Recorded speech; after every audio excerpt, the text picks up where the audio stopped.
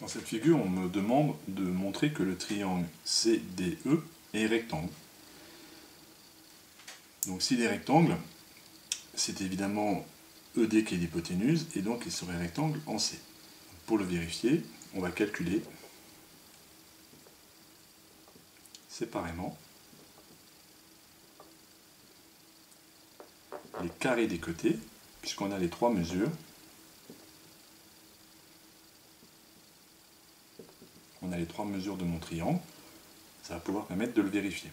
Donc si je calcule le carré de ED, qui vaut 9 au carré, qui fait 81, et je calcule CD au carré plus CE au carré, qui vaut 5,4 au carré plus 7,2 au carré, et à la machine on obtient 81 aussi.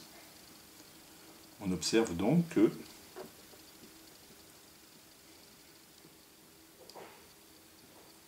observe que ED carré est exactement égal à CD carré plus CE carré. Et en vertu de cette égalité que nous venons de prouver, on peut appliquer la réciproque du théorème de Pythagore.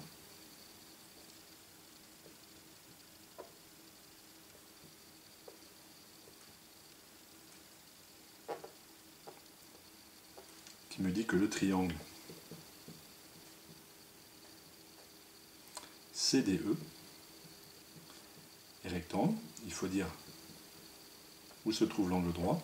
Comme on a considéré ED comme hypoténuse, l'angle droit est donc en C. Deuxième question. On me demande de prouver que les droites AB et CD sont parallèles. AB et CD. Donc, première chose à faire, j'avais déjà tout à l'heure en préalable codé ma figure en donnant toutes les valeurs données par mon énoncé. Et là, je continue mon codage. Je viens de prouver qu'il y avait un angle droit, ce triangle-là était rectangle, donc j'ai un angle droit ici. On me demande de prouver que cette droite-là est parallèle à celle-ci.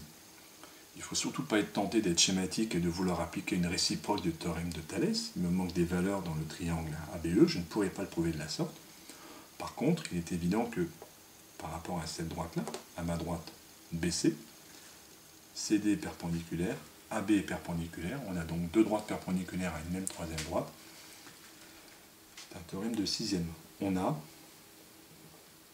ma droite CD qui est perpendiculaire à ma droite BC, on a ma droite AB qui est perpendiculaire à ma droite BC. Eh ces deux conditions-là me permettent de conclure directement que ma droite CB est parallèle à ma droite AB. Il n'est pas nécessaire de redonner cette propriété telle qu'on l'exprime en sixième.